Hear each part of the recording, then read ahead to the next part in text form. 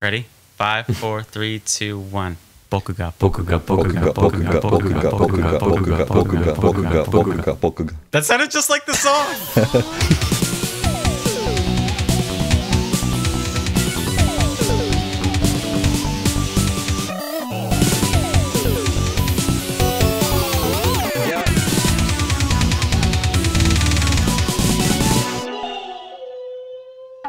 Welcome to the Visual Kei podcast. I'm your host Frederick, also known as Whirling Black, and with me today I have the usual suspects. Your co-host Alexi. Your sexual beast, Aaron. Very good. Um, I don't know how to follow that. My sexual beast, James. It's a translation of Honmei. Yes. Will you be my sexual beast this Valentine? Nice. Oh, get it? Double reference. Oh, yeah.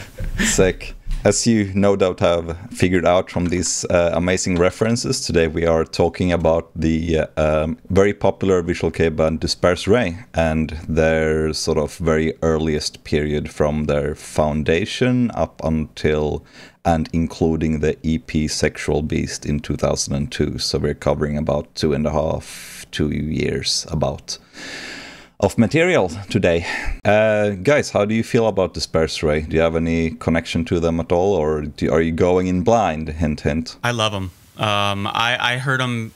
I found. I think the first time I found D'espairsRay, I was on a uh, one of those rare English VK sites, and they had like images of like artists that were on, on omnibus like VA CDs, and one of them was D'espairsRay with the cool like spider web backdrop and hot super high contrast, and I was like, damn, they look rad as hell, and so I had to look them up, and I think I found Sexual Beast. Oh, it's not a bad place to start, I would say. Not a bad place to start. What about you, Alexi? Despers Ray actually has the distinction of being my first Visual Kei band. Uh, I found them on a Finnish video game website and someone had just linked Garnet. Someone just made a thread for Japanese music and Garnet was linked there. I clicked on it and actually I've loved Visual Kei ever since. Like genuinely was didn't take more than 10 seconds for me to just look at the aesthetic and the music and that was it.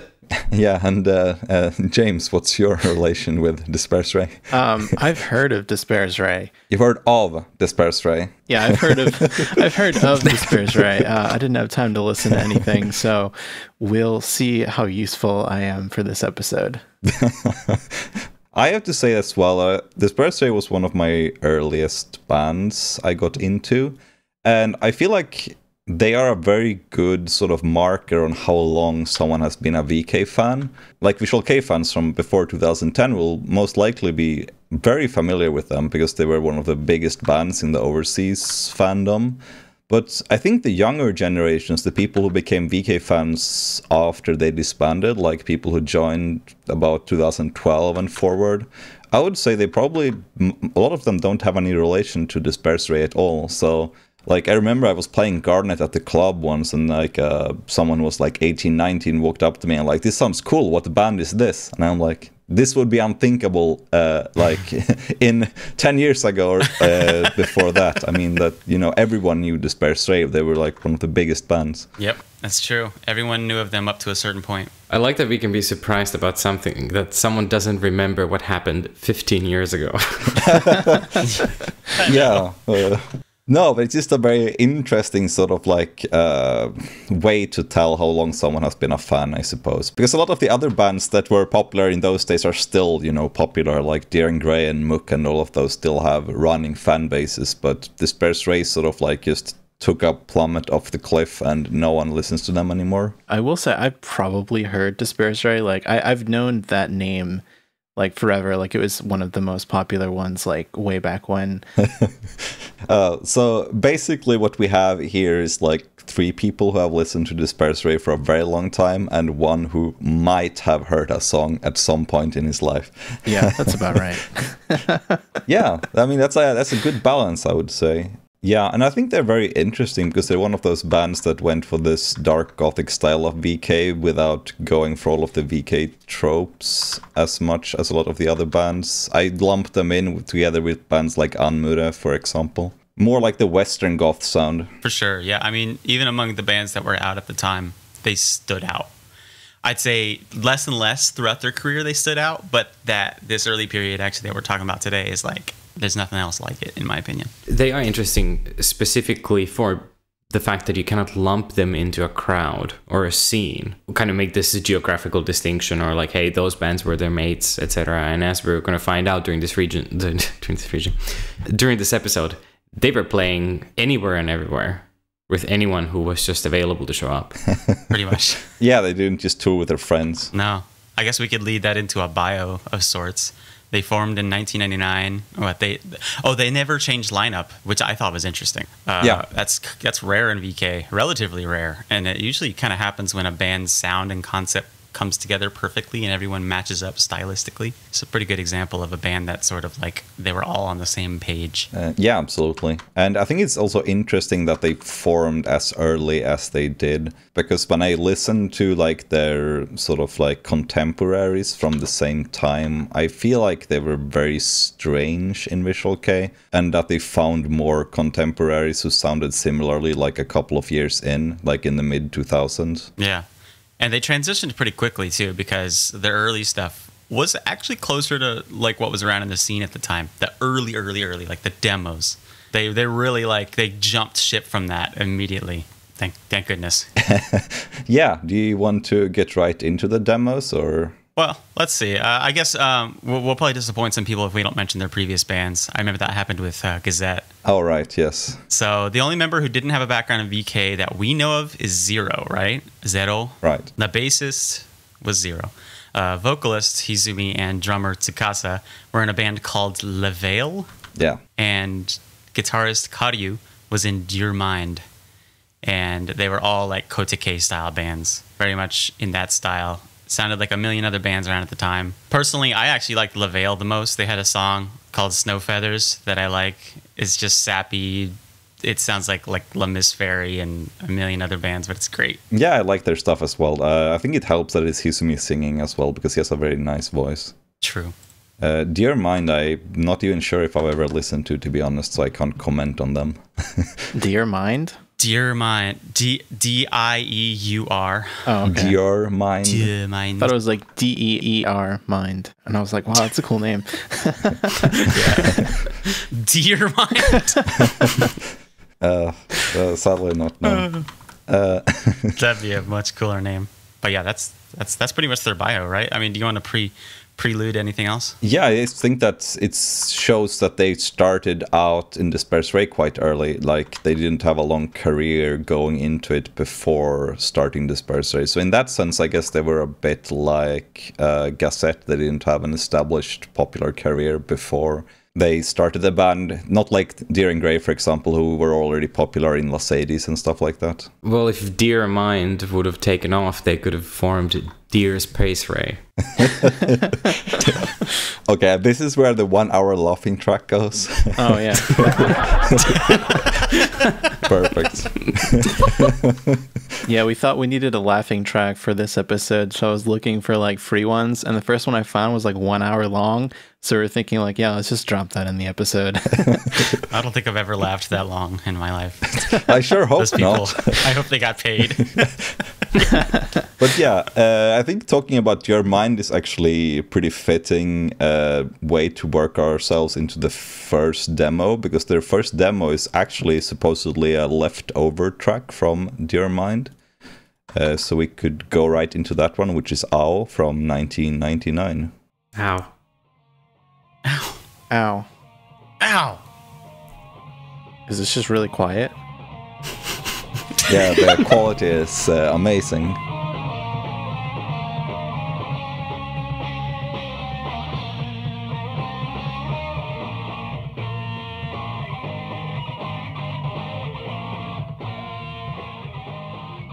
Yeah, it's the epitome of a demo. I mean, it's like it sounds like a sixth generation cassette tape. Uh, I think actually this demo was recorded with a microphone in a rehearsal studio. That's why it sounds was like it the this. same one I used for the disorder episode?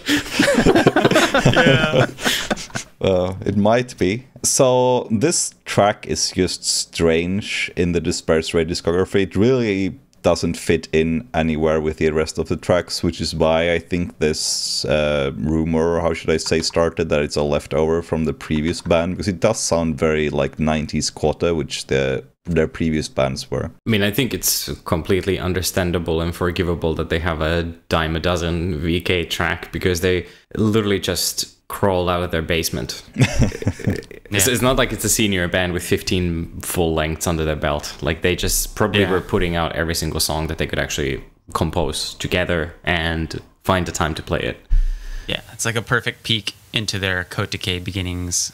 They're like babies, fresh, fresh from the VK womb. I think they actually gave this away at their first sponsored live, and they had like pressure. From what I heard, this is just you know things I heard over 20 years of uh, vague rumors, but that they had uh, a pressure to get something together to record uh, to hand out as their first demo for their first sponsored live in uh, December of '99. So they basically went like, well, uh, you know.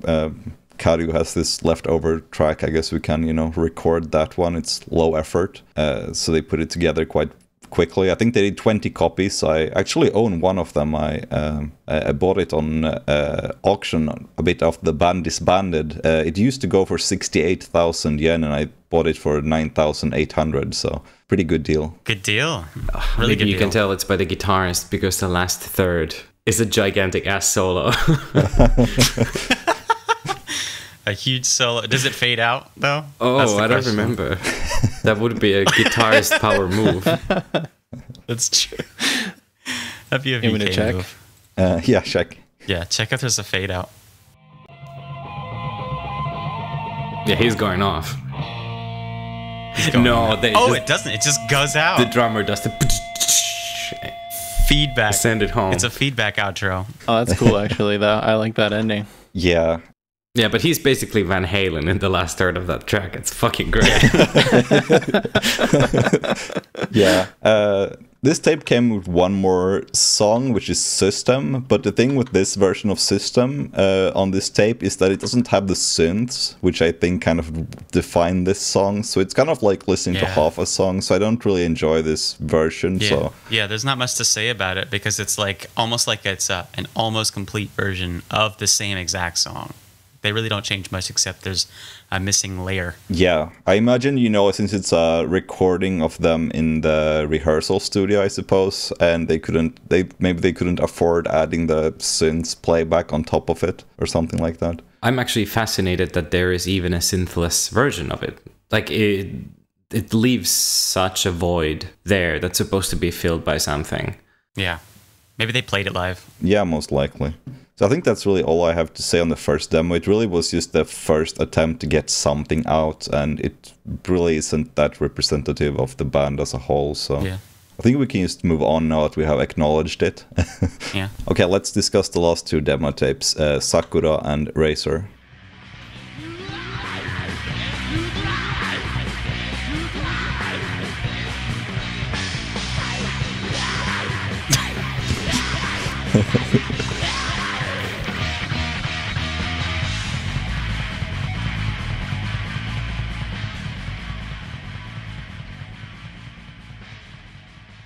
So this song and uh, another demo came out around the same time.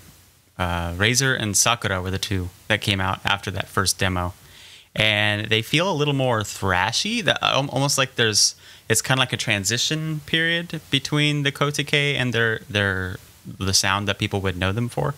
And I like them. I really like Sakura and Razor as songs. I feel like that sort of transition to the goth metal sound is interesting. Uh, I think it's something that I keep in mind that I feel like Razor is a song they wrote for a very specific reason, and it's for the stage rush.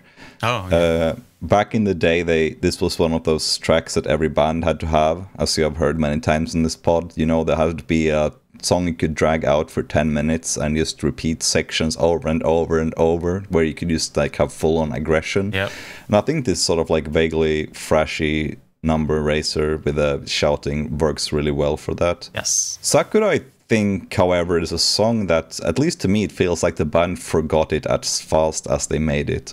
As far as I can find out, it was only played once live at the show where it was distributed, the demo tape. Wow. So that's not like a ringing endorsement when the song is only played at the concert where it's handed out. Yeah. uh, but otherwise, it was just thrown away. yeah, other than that, I think it's a decent track. I have. I really, I mean, out of the two of them, I prefer Razor, but neither are songs I put on and listen to as you know enjoy enjoyable material. I would suggest uh, an, like a new listener who wants to go through the D'espairsRay discography to just start with the first single and go back to the demos later if they want context, because this is not the place to start. I would say. I could live without these tracks, to be honest. it, it- Yeah. it is. I will say that it, it's actually commendable that aside from that very first song, they never did that sort of sweet melancholy melody bullshit that most of the bands were known for.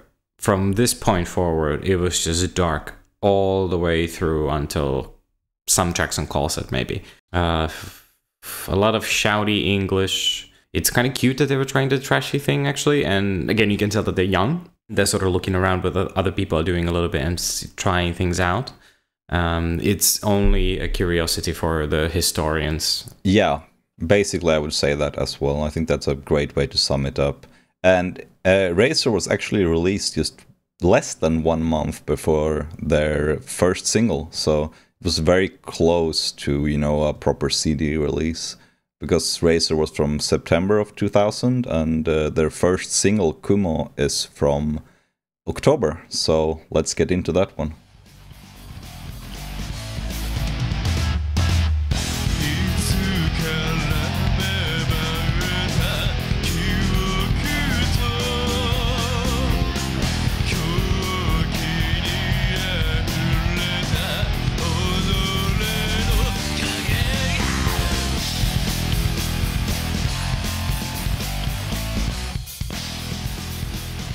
So Kumo opens up with what is to this day actually my favorite Desperate song ever. Damn. A song called Kisei Parasite. Yeah, I know it's my favorite still to this day. Wow. Composed by Tsukasa, the drummer, which I think is cool. I love drummer composers. Oh. I didn't actually know that. That's uh, that's very interesting. Oh, yeah. You Tsukasa did that song. I mean, I own the single. I should have checked that, but you know, um, Is that the guy who went to Microhead 4N's? yes, Yeah. And he's also Tsukasa also is an enka singer. right, yes, He's like a VK enka singer. It's great. yeah, that is true. He does that as well. It's an interesting career trajectory for sure. it is. He's he might be the only VK enka singer. Yeah, possibly. I'm not going to uh, try to. Wait, no. The guy from D Out, Dauto. Oh, didn't I the think didn't the Art Cube guy also go Enka? He did some solo. there's thing. probably a couple. Oh, okay. Although what unites them all is that none of them are successful. Yeah, it would Tsukasa's surprise me. successful by personality alone. Yeah, but but I have to say that you know the intro of Kisei Parasite it just sets the mood for this single so well. Like you know the wind and the creaking door and all that. It's just Yeah. yeah, it's just such a. I mean, so that's great. actually when we're talking about them not having a lot of like VK tropes. I think you know this is one instance where they actually just went full in for a VK trope, but it really works. Yeah, the music itself is different, but the atmosphere is still there of that sort of like brooding gothic visual style. You know, I would say that uh, there are tropes, but they're so committed to the darkness of the music, and it's really from this point forward. It's so oppressive and so dark. Um, the guitar tone is super rough, and there's actually some really kind of cool guitar tones uh, in their early stuff in general. There is also, I guess, their first um, their synthesizer makes a debut, and it's a very good one. I think, especially on the first track. Yeah, Yeah, right out the gate, they they sound kind of like nothing out in VK at the time, especially. There's similarities. There's, I mean, yeah, like there's similarities and stuff. Like, and if you write it out on paper, you'd have a hard time convincing someone that D'espairsRay sounded so unique. But you really kind of have to hear it once you hear the songs like on Kumo. It's yeah. It, it It's really unique. It has this really like sort of like sparse lo-fi feeling to the synths. Like they're Mm-hmm. definitely not the overly flourishing VK synths you're used to. I believe in our circles we have jokingly called it the Burzum synth because it has these long droning notes where it goes like boom, boom, boom, boom. Yeah. yeah. and uh, it's unique. It's not used too much. You kind of almost wish that the sort of tapestry synth would be used more in this sort of very stripped down type of way. Yeah, it definitely doesn't lead any of the tracks. It's just adding some flavor. And there's that perfect storm with Karyu's heavy metal guitars and Hizumi's aggressive deep tone, his almost baritone. Yeah. And It sounds a bit like uh, they, they, they kind of sound at this point like if the guys from Testament did a collab with Type O Negative and someone made like a Nightcore remix of it. Wow. You know what I mean? no. No, I I don't know, but it sounds cool. All right. Well, give those three things a listen. No, give those two things a listen and then make a Nightcore remix of one of them. Aaron, could you define Nightcore? Basically, Nightcore is literally just if you take a song and speed it up by like two times or like one time. So And that's Nightcore. That's So all basically, what you do is that you play both of those bands at the same time, and then you put like a Yohio Lloyd fucking Yeah. Nightcore remix on, and all three simultaneously. You got the first D'espairsRay Sort single. of. Yeah. Well, right. Yeah. I'm not super committed to that comparison, but I think we should just stick with that. Yeah. We'll open the show with it. Yeah. Yeah, and also one more thing that goes through all of these songs is that Hizumi's singing is really on point. It really sounds like this, you know, it has this weird guy doing weird things in a basement feeling to it. Well, that might actually be the most unique thing about this in general. This is actually where he really finds his voice. Um, doesn't really have a lot of points of comparison in VK. This is the most VK release out of their like official releases, so to speak. Uh, but there is already that Western influence creeping in. Yeah. Yeah, I was just gonna say these guys were only in their mid twenties when this came out, and it's still it's it's more polished and complete than any band can hope for. I mean, after years of development, there's bands who never reached this level, and these guys reached this level on their first CD. It's crazy. Yeah, and there's like Alexis said, there's some old school stuff creeping in. Like in the second track, there's some old school VK arpeggios that make an appearance, and it also is the start, possibly, of the Hizumi trademark "Angry Cat" screams, which you will hear a lot more uh, coming up. Yeah, I love the cat screams. Uh, and uh, yeah, and the third track, which is uh, well, it's actually called Mishitsu no Naka Ikareta Kimi no Senritsu, which you know it actually references a Mishitsu. I just call it Ikarete Kimi. yes, me too. But it's the references a Mishitsu, so But oh man, that that shriek at the end of Ikarete Kimi is so great. It sounds like a banshee in the forest somewhere. yeah, it's a very Hizumi's. I, I I'm betting it's Izumi. it's a very gotta uh, ambitious track as well, almost six minutes long, and it also has the Mm-hmm. Ein, zwei, drei, vier, which appears, which is you know yeah. we have the That's a staple. Yeah. So like you said, it's uh, there's a lot of VK staples in this one, uh, which is nice. And I will say that uh, even though their sound has developed at this point, I feel like Razor or Sakura actually would have fit in on this. If they kind of redid them a little bit, they would be a perfect fit. Yeah. So right after this uh, single, they actually participated on a omnibus uh, album called Hysteric Media Zone, which was uh, together with such illustrious acts as Guillotine, Cure, Skull, Sigma, Crystal Eyes, and Crescien de Rona. God damn. Great Did any of those go to the Tokyo Dome? uh, and all of which, besides D'espairsRay, made the great career move of disbanding by the following year. Oh man. Uh, s- they were probably onto something.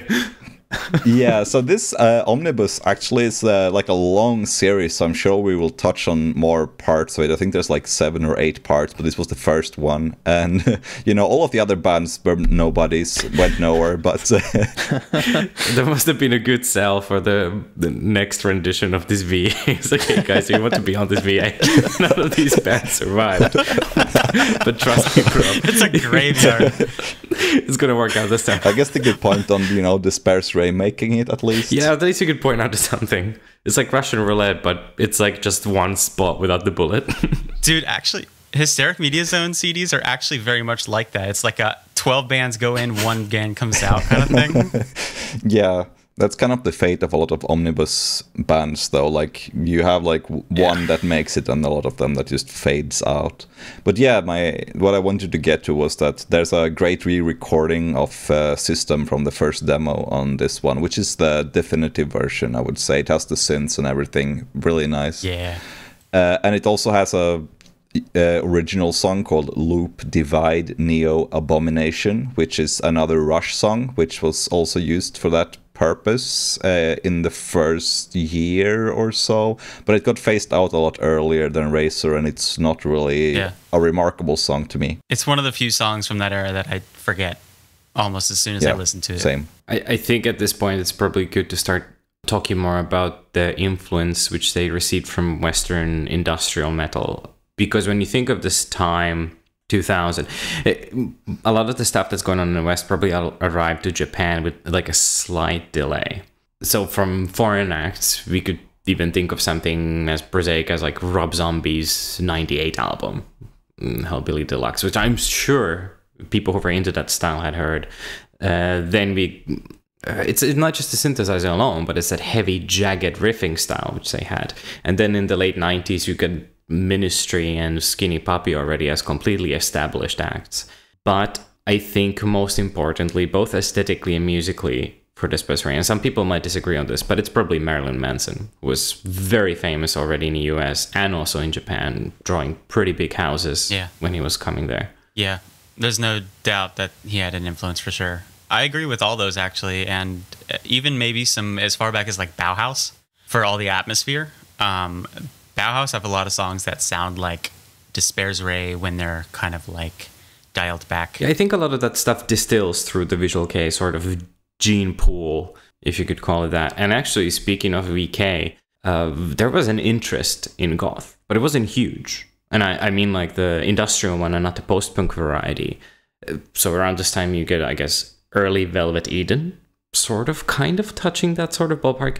Uh, Malice Mizer's third album, just right around the corner. And that was like a total commitment into that style. And then some very strange pioneers like Dying Crisis, Eccentric, Nothingness to Revolution, then Buck-Tick's cyberpunk period, I guess. Uh, but the amount of contemporaries doing the same thing that D'espairsRay was doing when they started out was super slim. Although Karyu insists in multiple interviews that he doesn't listen to Japanese music.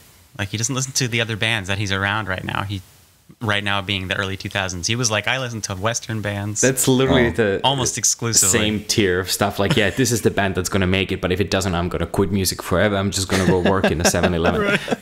Um, but in D'espairsRay's case, I can kind of believe that Uh, they became completely autonomous fairly early on, and then- then started looking into stuff like Lauren Seal by their Redeemer era singles. But this time period between that, I feel like their eyes eyes were totally on their own thing and what was happening in the West. Yeah, and I think it's worth mentioning going now into the next single and the next year, which is 2001, is that their fame must have escalated quite quickly because by the time the Genwaku single was released in March, no, uh, sorry, April of 2001, the single was so popular that the first press 1000 copies were sold out already in pre-orders. So a second press was released the very same day in a different case.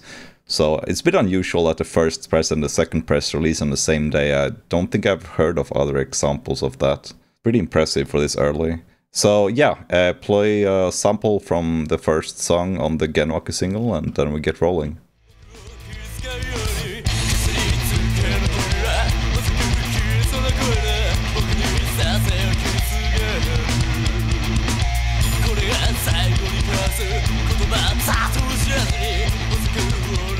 Does that count as rapping? Mm. no, no. Do they qualify as an adult no, band? no. no. Oh. it's adolescent at best. Ah, shame. Uh, 14. Ugh. I I think the single is more of the same in the sense that it kind of continues the sound of the first single, maybe phasing out a bit of the 90s VK tropes, but it still has very much the mm-hmm. same energy going for it. I mean, Yep, it's a I think the first track is definitely the star of the single. The third track is, in my opinion, one of the weakest of this era. I'm not a big fan of Mm-hmm. Genkaku, which is track number three. I would agree. Genkaku is probably the weakest. I like when he goes Kimi no Mabaroshe, and then it doubles down to like double time. That's a cool, cool part. But other than that, the rest of the song is pretty. You know, it's decent. My favorite actually is Gensho. It's like kind of slower. It's a slower tempo. I think it might be their first kind of like low tempo song at this point. Uh, Uh, it has like a dark atmosphere. It's kind of like their 304 Goshitsu Uh, at that the point. track two. yeah, I think it's um Oh, Track yeah. two. Uh, I mean, to me, it's kind of like their sort of most. It's Disperse right at their most anmure, kind of, is my note on the Mm-hmm. Track. That is a very sort of. It's, It's- a soft and more straight up goth number, in my opinion. Yeah, for sure. It does sound more like Amure. It's got like a steady rhythm. The drums are kind of like almost like a loop. It's great. But yeah, other than that, it's pretty much like a continuation. It's like a part two of uh, Kumo. Uh, Alexi, do you have any takes on this single? This one's just a little bit tighter than the last one. That, that, that's it. Sounds Yeah, It's uh, right. I, I think I see what you mean. It's uh, it's a very nice single, but it doesn't really provide a lot of new things. It just sort of like Mm-hmm. polishes up a bit, and that's why track two is my favorite because it kind of gives something new, I guess. um, yeah, which is you know I think that's yeah. What? Sorry. Oh no, I was just I had something to say after you're done. Okay. you, you don't have to stop in the middle of like This doesn't Wait, mean I'm James has interrupting something you. to say. Shut the Everyone, fuck up. shut up. Just Okay, shut up. James, you go ahead. Yes. Give the audience what they want. yes. They want. Do the line. yeah, it sounds like Kagrra. This show would be better in video, I swear. Nothing can improve this show. if you keep that part in for people listening, we kind of raise our hands when we have something to say. But that time James did it, and Frederick thought he was interrupting him, so he's like, "Oh, okay, Yeah. go ahead." Didn't really. James Yeah, I- was basically didn't fucking personally. Kanye Westing himself in front of I'm gonna let you finish. um, what is with the stylization of the titles? It's like uh, all the tracks are two kanji, I know. and uh, right in the middle of them they put like the romaji. Yeah, like I feel it's, like they were uh, all about- genwaku, gen genwaku waku. yeah. Yes. Gen Gen Waku Waku. It's like ATM machine. I mean, we did have an interaction with the man on Twitter. Yeah, the Twitter. Oh yeah, that's actually relevant. Um, they seemed to be really into uh, typefacing uh, stylization because um, I posted on Twitter about um, why D'espairsRay during this period had the little two, two little pluses at the end and uh, then quickly abandoned the pluses. And I just tweeted about it, and someone on Twitter was like, "You should at Hizumi. He's on Twitter." This is uh I'm gonna I'm gonna give them credit. This is at crimson underscore bitch. They told me you should add Hizumi. Thanks to that person, because I did it. I added Hizumi and I asked the question, and immediately, like minutes later, he replied, and pretty much uh, they were only ever meant to be a graphical flourish and not the official name. The official name was always D'espairsRay, without the pluses. So it wasn't plus D'espairsRay plus. It was never plus D'espairsRay plus. It was, I thought it was supposed to be crosses. I wonder if you can tag all the guys on Hysteric Media Zone 1 and they will reply just as fast. yeah. yeah honestly i'm i love that's one of the things i love about twitter is like the quick communication with people like this i'm going to do that more often for the episodes but yeah uh, james actually um, that's a good point uh, hizumi said they were crosses Oh, which okay. is a little cooler a little more visual kei. even though he used pluses or they used pluses he in his reply he used the emoji for the cross yeah. So they Yeah, I guess the a- cross emoji didn't really exist uh, back then in the early 2000s. Although, if it not. had and they would have used it, it would have been pretty cool. yeah, it would've. yeah uh, so yeah, they just like wild kind of stylizations of, of text. Um, Yeah, I think they're just trying to be cool, which they were kind of successful. Yeah, no, it looks cool. Gengen Waku Waku, official title. Like plus the spares Ray plus. Apostrophe. Yeah. Oh yeah, plus D apostrophe S spares Ray plus. Yes. Esper's Ray. Uh, anyway, so I think that uh, you know after Genwaku and the sort of like breakout success that single was, it made sense for them to try to make something bigger and more ambitious. And just a couple of months later, actually, they managed to put out their first EP, which is called Terrors. So let's take it away with the first track. Uh, I'd say play second track and we'll imply the first track. What? Okay, so the first track, Fascism, opens up with something we don't want in a podcast, unless we're doing historical fiction. Okay. ガチャイの針が抜けない今始まろうするカニババふざまずいた命乞いしな犬臭く迫害された存在の罪 So the reason we sampled track two instead of track one on this one is um quite simply because track number one starts out with not sampled, mind you. It's a original recording of what I assume is the band shouting a very particular uh, Nazi slogan and some like marching band music in the background. Uh, so I think this track might have put some Western fans off. I, I mean, I actually thought that was a sample all this time. It makes it a little worse. Uh, no, it's, no, it's no, no, it's original. It's But- original content. but yeah, it's it's it's it's like yeah, that was the intro, and I remember that intro turning off a lot of people that I knew of D'espairsRay, but they were kind of interpreting it con- like literally, and it's supposed to be interpreted conceptually.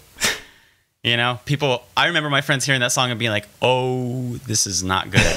I'm not into this." And I'm like, "Dude, the whole point of the song. I mean, the song is called Fascism. It's a song about like a fascist regime.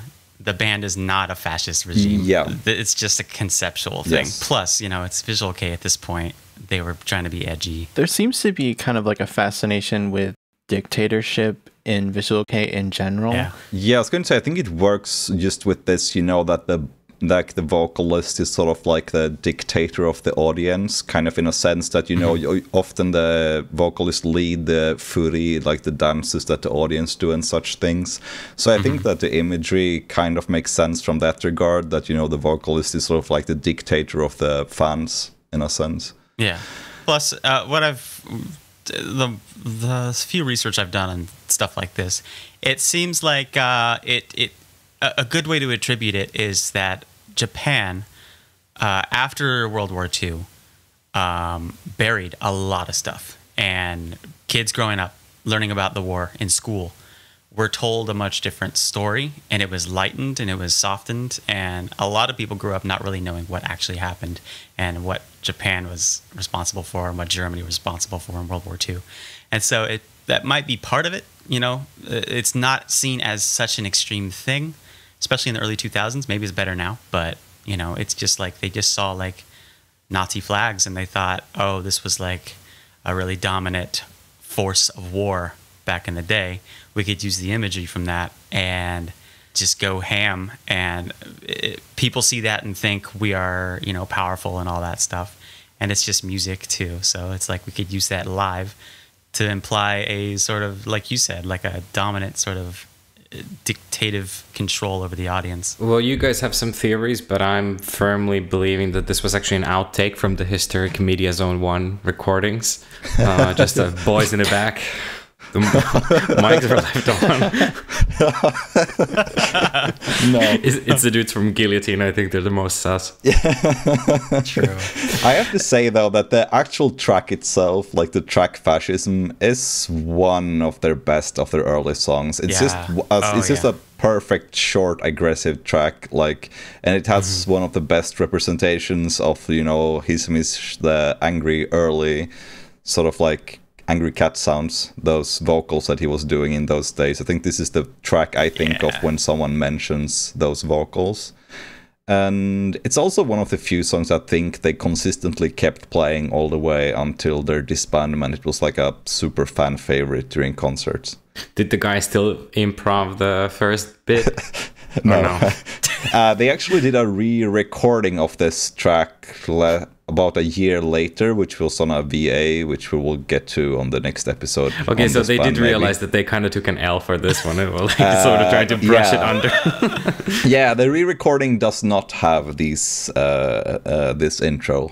They they did their studies afterwards. They were like, "Oh my god, Yeah. we're just talking about making uh, fangirls freak out and jump and go crazy."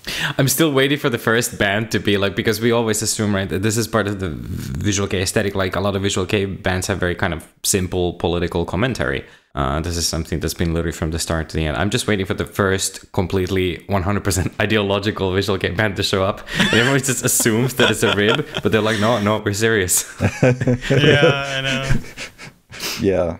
The closest things I can think of is like maybe like MERRY for Modern Garde. They had a very Japanese nationalist, which is literally a song of theirs, uh, viewpoint, and they had for a while.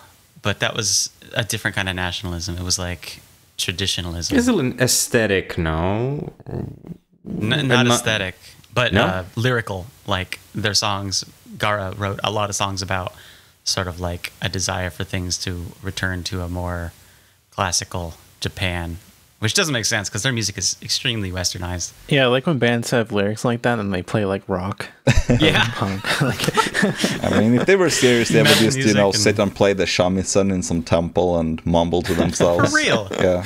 Anyway, that was a sort of like a Yeah. very, yeah, Moving on from- way off track. So, about the Terrors EP, I think this is sort of like a major development sound wise from their previous efforts. I feel like they're Mm-hmm. diversifying their sound here and sort of becoming more comfortable Yeah. with their style.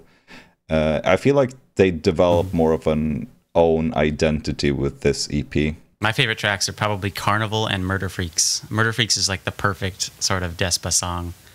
Catchy, heavy, dark, edgy. It was like the first song of theirs that I was sending around to my friends and converting people to the cause.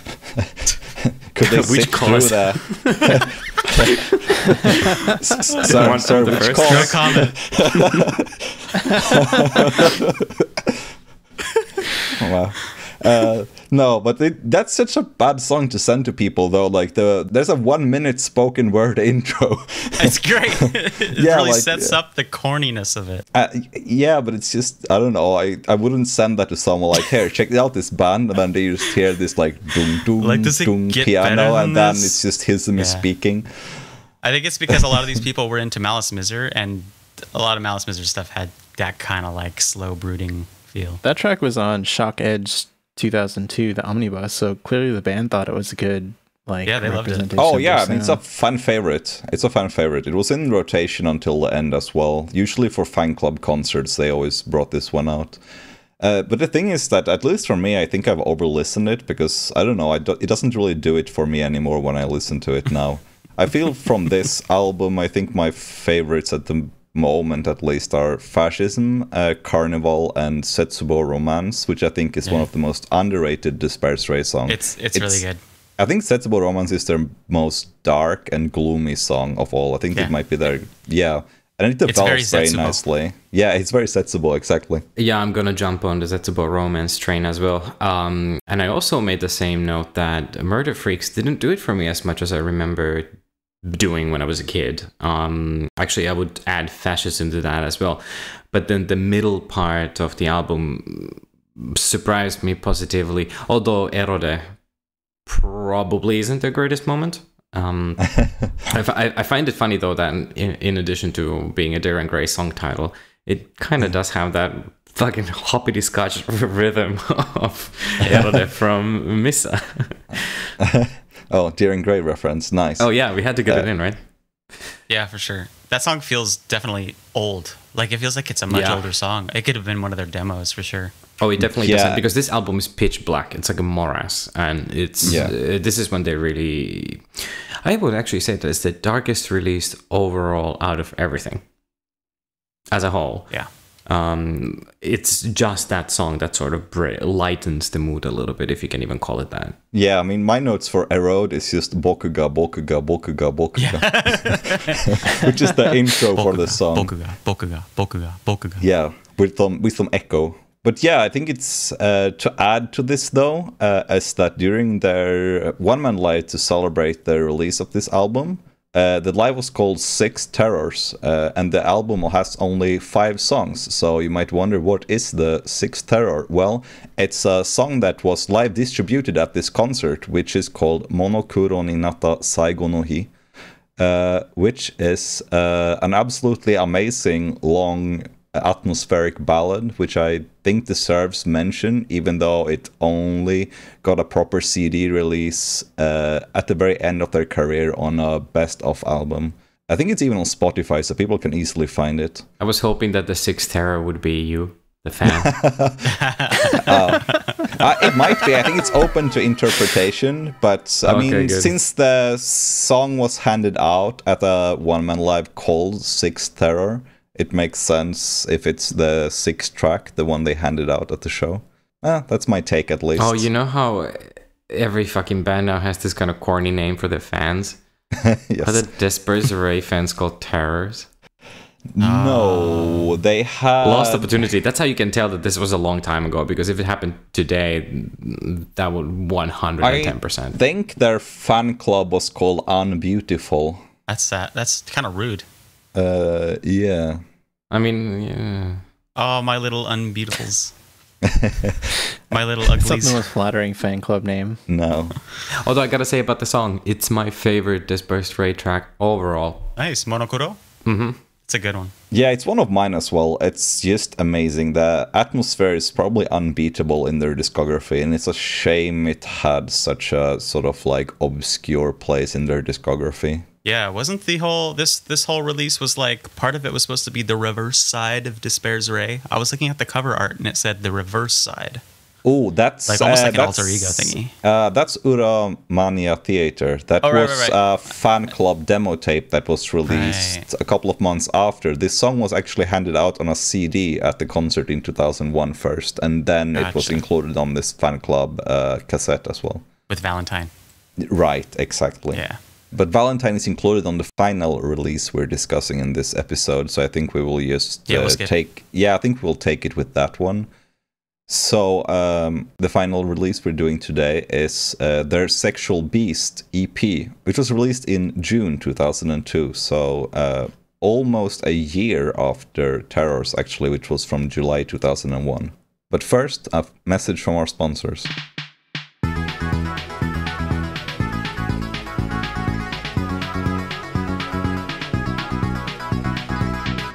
This episode of the Visual Kei podcast is sponsored by RarezHut, your source for rare and not so rare imported Japanese rock, metal, and Visual Kei outside of Japan. Their prices compete with street prices in Japan, so save on import fees and shop at RarezHut. Wow, look at all these rares! This week, from September 13th through the 20th, RarezHut is holding a lottery contest to celebrate a thousand followers on Facebook, where one random order will be totally free. The order will be picked at random at the end of the period, and the order total will be refunded. Uh, guys, is it is it possible to have too many rares? no. And if you're a new customer, you can enter the code VKPC at checkout and get 10% off your first order. Unless you win the contest, and then it's 100% off. And we're back.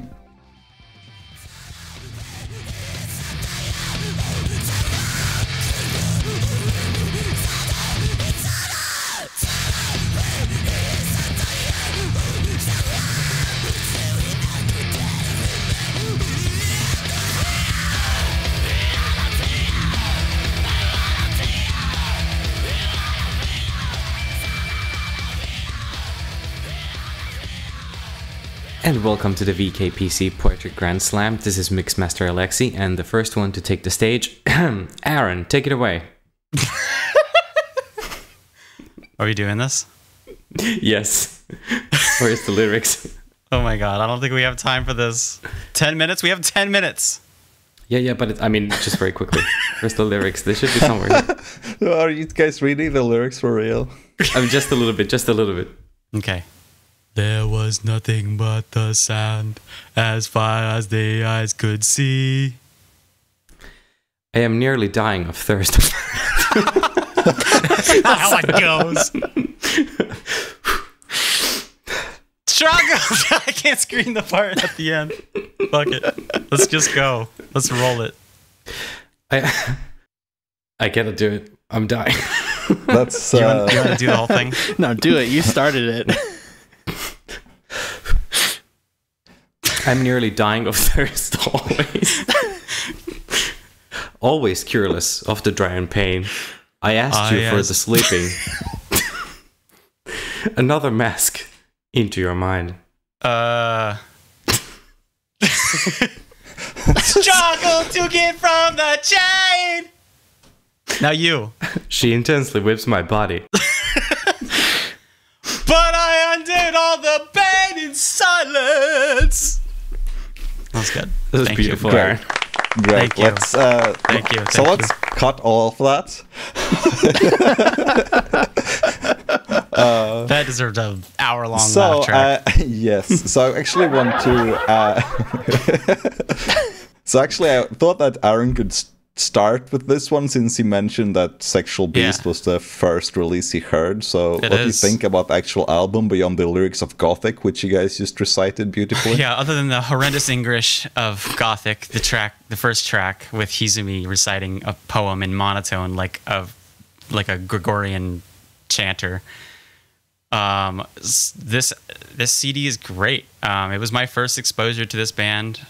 Um, Kumo was my second, but with this CD, uh, it was the band sound was like perfectly formed by this point, and it was just excellent. And not a single track of this release um, I skip. It's great. I'd say Valentine is like my second favorite song after Kisei Parasite. I love it. It's catchy, memorable, beautiful.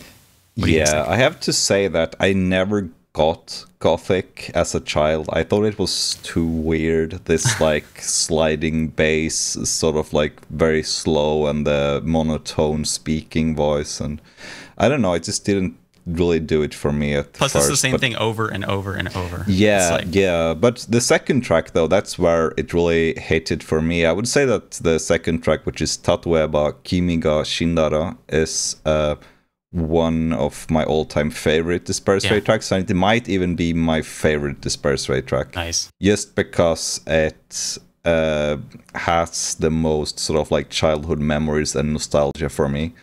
Uh, I remember the first time I saw Disperse live in 2009. I was really hoping I would get to see this one because I had friends who went to see them in Copenhagen in Denmark. That was a thing in 2006. And apparently they played this as well as several other really old songs. But in 2009 it was already too late for that, so I didn't get to see it and I was kind of bummed out about it.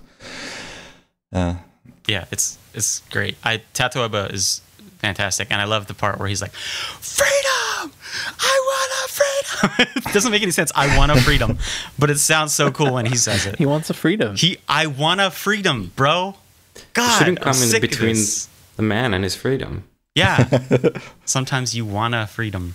he's just a, you know, a very staunch libertarian. Yeah, Oh no. he's letting people know that fascism was not him. In fact, he want a freedom. Yeah, actually, you know what? This is exactly getting back to that issue. Yeah, And he wanted freedom for all of us. See, beautiful. That's uh, why he's our yeah. icon.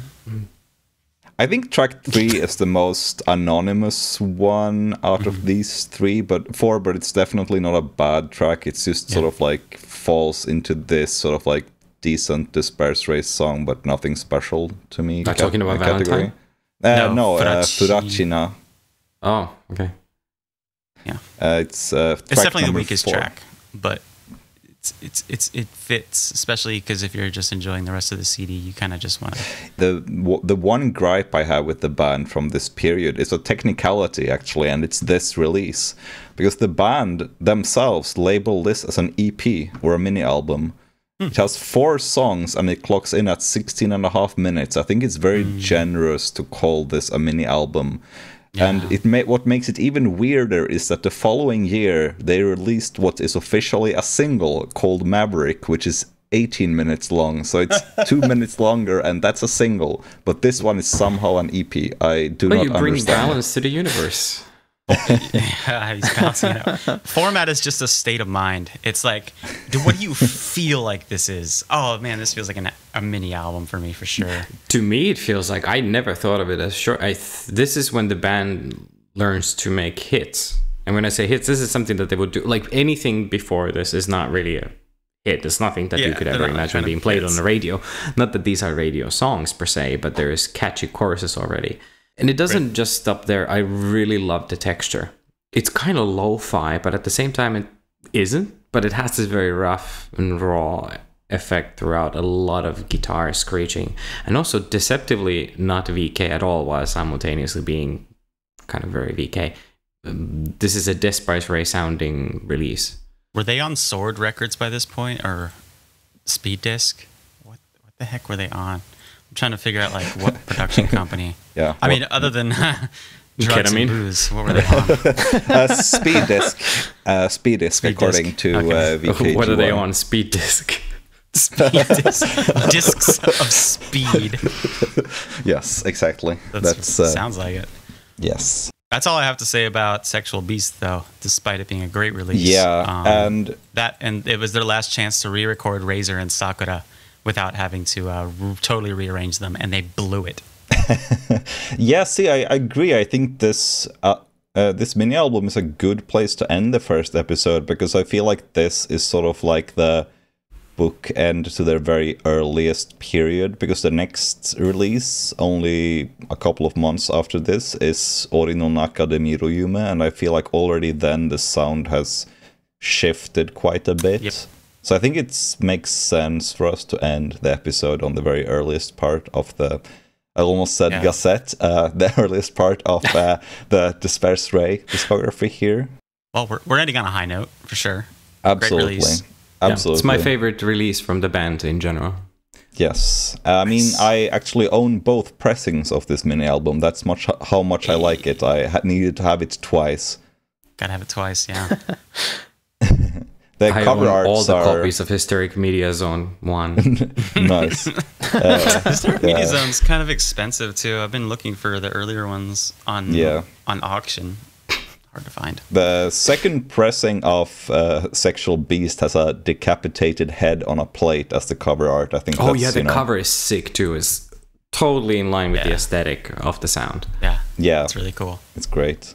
Yeah, so I think with that we have sort of covered everything from the very earliest period of um, of D'espairsRay. Do you guys have anything to add to as a final sort of summary for how you feel about this era in general before we wrap up?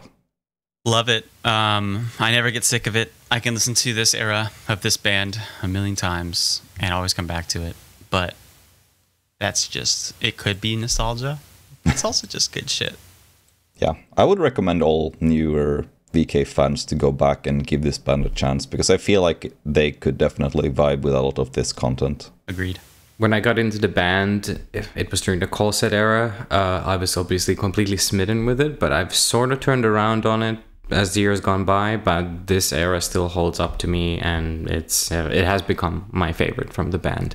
And I would recommend it to anyone who doesn't mind the industrial metal sounds and this kind of dark VK context. It certainly ages the best out of their their stuff. Oh, for sure. You know, a lot of their stuff doesn't age super well because it's it was good at the time, but then it, it's really simple. They kind of simplified and simplified all the way to the very end. I would I would say that the alternative metal and alternative rock style of later years has definitely experienced a crash in Yeah. market price compared to this Yeah. very sort of obscure, raw, Yeah, ripped from tape sound of early Disperse Mhm.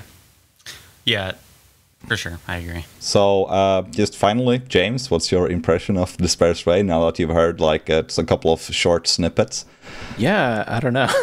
uh, there's definitely guitar in it. And with uh, that ringing endorsement, I guess uh, all that is left is to uh, thank everyone for listening. And as usual, There was nothing but the sand. As far as the eye could see, I am nearly dying of thirst always. Always cureless of the drying pain. I asked you for the sleeping, another mask into your mind. Struggled to get from the chain. She intends to with my body. Okay, perfect. Let's cut there. I endured the pain in silence. Hey everyone, thank you for listening. If you enjoyed this episode and want to help us out, please subscribe.